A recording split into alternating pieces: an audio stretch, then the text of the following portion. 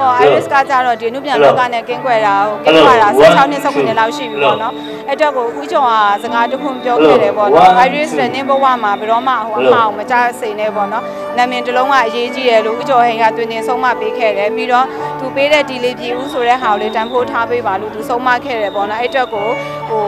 အတက်နိုင်ဆုံးပေါ့နော်ဟိုကြော်ပေးတဲ့နာမည်လည်းမပြတ်စီအောင်ပေါ့နော်အတက်နိုင်ဆုံးထိမ့်သိမ့်ခဲ့တယ်ပြီးတော့အခုချိန်မှာသူများတွေအဲ့လိုမျိုးပြန်နှုတ်ဆက်တဲ့ခါကျတော့ရမ်းပြောပါတယ်ရမ်းလည်းအားရှိပါတယ်ကြော်နေရတော့ဒီဟွာမှာတစ်ခါတွေ့တယ်ဟောအဆက်အသွယ်တော့ရှိတယ်ဦးကျော်ကတော့အဲ့မှာသူစကားတစ်ခွန်းလေးပြောခဲ့တယ်ပေါ့နော် ငါတပည့်တွေထဲမှာတဲ့နင့်ဟိုစင်ပေါ်မှာရှိတာကိုသူမြင်ကျင်တယ်ပေါ့နော်အဲ့ဒါလေးကိုသူပြောခဲ့တာရှိတယ်အဲ့အတွက်ကိုအခုဟိုအားရင်တည်လူတင်တယ်ပေါ့နော်ဒီတက်နိုင်တဲ့ဘက်ကနေပြန်ပြီးတော့စူးစမ်းဖို့စီစဉ်နေပါတယ်ရှင်ဟာဦးကျော်နဲ့အမတွဲရိုက်တဲ့ကာလာပလုံးပေါ့နော်သူစင်မှာဟိုတင်တန်းတက်ခဲ့တဲ့အချိန်မှာအမတို့ကြတော့ပေါ့နော်စပထမမသိဘူးပေါ့နော်ငိုရဲဆိုရင်လည်းမှန်ကြည့်တယ်ပေါ့နော်အဦးကျော်ကပြောလဲဆိုတော့မှန်ရှင်းမှာဘယ်တော့မှ item မလုံးနဲ့ပေါ့နော်တစ်ထရတဲ့ပဲမြဲဖြစ်မယ်ပေါ့အဲ့တော့အဓိကတော့ဒီစိတ်ကိုပဲ